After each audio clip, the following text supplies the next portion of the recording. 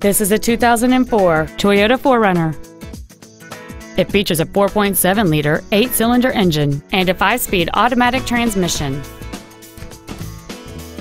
Its top features include a double wishbone independent front suspension, a low tire pressure indicator, traction control and stability control systems, a DVD video player, aluminum wheels, and much more. The following features are also included full power accessories, external temperature display, a six speaker audio system, a CD player, a trailer hitch receiver, 12 volt power outlets, front fog lights, an anti lock braking system, privacy glass, and cruise control. Stop by today and test drive this vehicle for yourself.